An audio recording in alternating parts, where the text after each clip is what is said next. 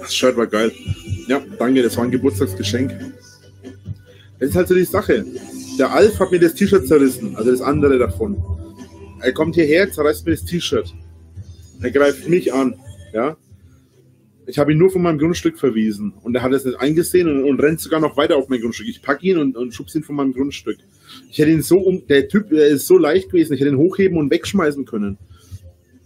Ähm, was, was, hat er, was hat er gewogen? Vielleicht 60, vielleicht 70 Kilo, höchstens 80. Das ist lässig, das hebe ich lässig hoch und, und, und schmeiß den weg. Ja. Und ich habe den ja auch, ich weiß nicht, das ist.